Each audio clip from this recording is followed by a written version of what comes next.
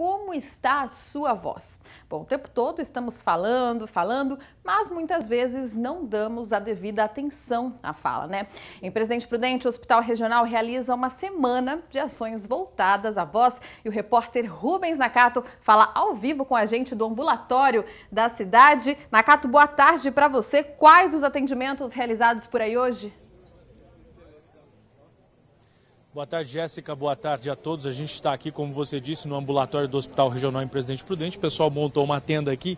Estão sendo feitos, sendo realizados atendimentos aí de orientação e avaliação para a saúde da nossa voz. A gente que trabalha com isso sabe bem como é importante cuidar da voz. Né? Eu estou aqui com a Mariana, que é fonoaudióloga. Ela vai falar um pouquinho mais sobre esses atendimentos.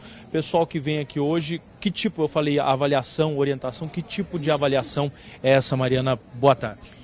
Isso, o pessoal da Liga de Otorrinolaringologia do Hospital Regional, em parceria com a UNOeste, eles estão fazendo orientação e avaliação de, da qualidade vocal desses pacientes que estão por aqui.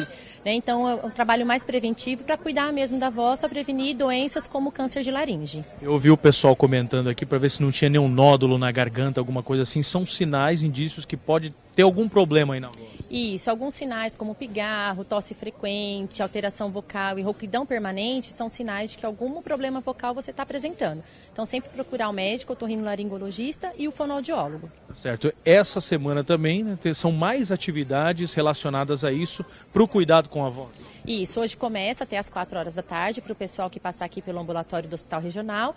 Na quinta-feira, pela manhã, vai ter a palestra para os colaboradores do hospital. À noite é aberto ao público, com médicos e fonoaudiólogos e preparador vocal. E na sexta-feira, para o público do AME é importantíssimo, principalmente é, no recado que se dá aqui na questão da prevenção. Né? Prevenção, né? Então, sempre cuidados da, com a voz, não competir com barulho, cuidado com a higiene vocal. Então, tomar bastante água, além da saúde geral do corpo, mas também para a qualidade vocal. E sempre observar sinais: cansaço, voz rouca, tosse frequente, procurar sempre o profissional da saúde. Tá certo, Mariana, obrigado pela sua participação. Bom, vocês viram só, né? Essa atividade aqui hoje vai até as quatro da tarde, com essas orientações avaliações aí para a qualidade, né, para a saúde da voz e durante toda essa semana outras atividades serão realizadas para reforçar essa questão da prevenção. Jéssica.